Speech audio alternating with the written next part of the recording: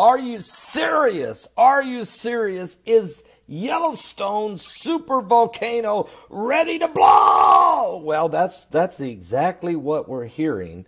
Uh, reports now amid the growing swarm of earthquakes. Now over 1,000 earthquakes in the last month at Yellowstone National Park. Now we know there was a 4.6 earthquake that hit right there at the uh, uh, right there in the center of it, right there where the super volcano is, uh, about a month ago, and then we just had 5.8 earthquake hit Lincoln, Montana, so which is all part of the danger zone.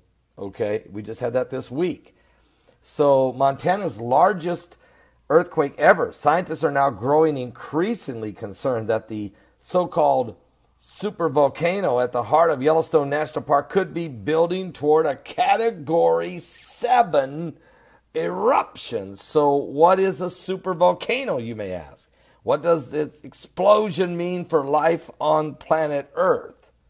Well, I can tell you it would be catastrophic, it'd be cataclysmic, apocalyptic of a biblical proportion. There's no question about it. It would pretty well put an end to life for the most part in North um, and Central and South America, our side of the hemisphere.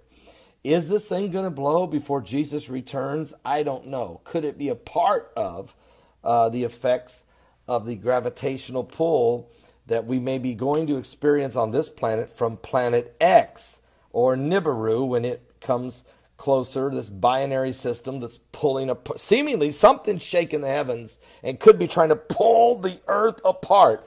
We're breaking records in volcanoes, breaking records in earthquakes, breaking records in sinkholes. We're having all kinds of extreme weather conditions global changes that are taking place that are affecting uh, mudslides, landslides, flash flooding, all kinds of thunderbolts of lightning, and, and we're, we're just witnessing one event after another. The sun is hotter than it's ever been before. The radiation levels in California in the last two years have went up 13%. In the Northeast, 19% and the earth seems to be shaking and quaking. It's uh, almost like the, it's it, the wobbling on the uh, uh, on the poles. And so we're watching all of these apocalyptic signs, realizing that every bit of it is leading us ever so closer to the coming of the Lord Jesus Christ. And now we're in a heat wave. It's almost like a heat dome that has brought uh, unbelievable suffering in Iran. It hit 129.2 degrees Fahrenheit with a heat index of a record 162 degrees. You could fry an egg. Oh, no, no. You could fry an omelet and the bacon and maybe even, I don't know what all. I mean, are you serious? This is unbelievably hot. And it's happening in Southern California. 10,000 cattle have died from the excessive heat. Oh, and what about Nevada? And, and 119 degrees in Las Vegas, and 120 degrees in Tucson, Arizona, and, and Mexico. It's cooking down there. Are you serious? So we're, we're, we're looking and we're witnessing and we're understanding that the UV rays, the, the, uh, uh, the cosmic ray, the gamma rays, all that's affecting the earth. You got to understand the magma's moving and the molten uh, uh, magma, the lava is all in the core of the earth, heating up from some type of intense uh, gravitational pull. That uh, even scientists say that there's an 8% tilt the entire universe. The entire universe we're in has tilted 8%. So, I mean, there's something biblical going on here with the signs of the second coming of Christ and all of the apocalyptic events going on on this planet are coinciding with the apocalyptic event. It's like whatever's going on in the spiritual world is manifesting in the physical. And there's signs in the heavens and on the earth, blood and fire and pillars of smoke.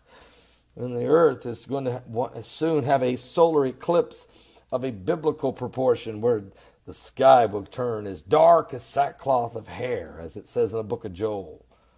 That's coming up August the 21st. 33 days later, we're going to have the great constellational alignment in the heavens.